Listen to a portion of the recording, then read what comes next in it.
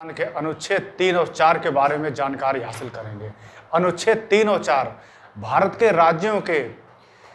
निर्माण, उनकी सीमा और नाम और उनके परिवर्तन या क्षेत्रफल में परिवर्तन से संबंधित है। अनुच्छेद तीन के अनुसार, संसद विद द्वारा किसी राज्य में से उसका राज्य क्षेत्र अलग करके अथवा दो या दो से अधिक राज्यों को मिलाकर या किसी राज्य क्षेत्र को किसी राज्य के भाग में मिलाकर नए राज्य का निर्माण कर सकती है या कर सकेगी। और साथ ही साथ किसी राज्य के क्षेत्र फल को घटा सकती है संसद, विधि द्वारा अनुच्छेद तीन के अनुसार और किसी राज्य के क्षेत्रफल को बढ़ा सकती है। साथ ही साथ वो राज्य की सीमाओं में परिवर्तन कर सकेगी और किसी राज्य के नाम में भी परिवर्तन कर सकेगी।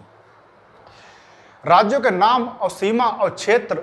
में परिवर्तन करने की प्रक्रिया इस प्रकार है राष्ट्रपति की सिफारिश, अर्थात मंत्रिमंडल या मंत्रिपरिषद जो राष्ट्रपति को राय देता है तो राष्ट्रपति की सिफारिश के अनुसार संसद में विधेयक या बिल प्रस्तुत किया जाएगा संबंधित राज्य की सीमा, नाम या क्षेत्र में परिवर्तन के लिए उसके बाद उस राज्य को या राज्य के जो विधानमंडल के लिए राष्ट्रपति एक निश्चित समय सीमा निर्धारित कर देगा और उस निश्चित समय सीमा में विधानमंडल राष्ट्रपति द्वारा प्रस्तुत बिल पर विचार करेगा। यदि राज्य का विधानमंडल निर्धारित समय सीमा के अंदर